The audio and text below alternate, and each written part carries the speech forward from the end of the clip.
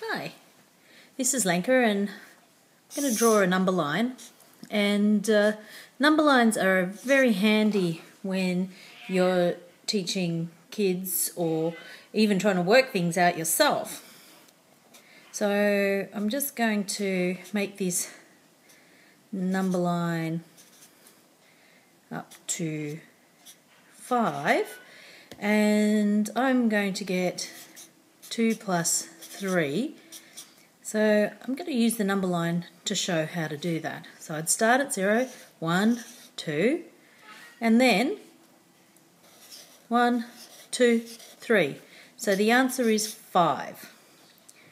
Now if I was doing this with someone younger, I would probably use different colours just to show them how it works.